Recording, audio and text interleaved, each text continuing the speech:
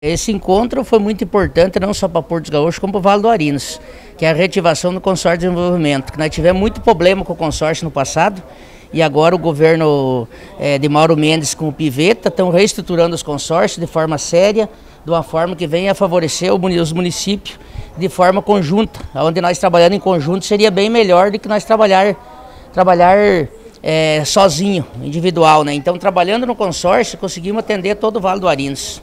Prefeito, o maquinário que existia no consórcio passado vai ser reaproveitado ou virão maquinários novos?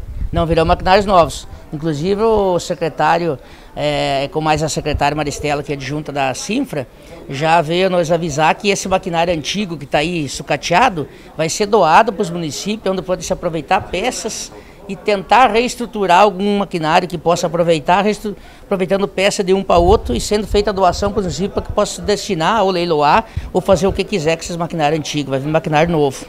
E aqui vocês já elegeram o prefeito Carlos Serena para ser o presidente do consórcio, é isso? É, chegamos num consenso com respeito ao prefeito Ferrari de Brasnorte e o Edu de Itaiangá, que não está presente, nós vamos comunicar eles, mas no consenso nosso aqui do Vale do Arinos, é, de eleger o Carlos como presidente, que ficaria mais centralizado para o consórcio.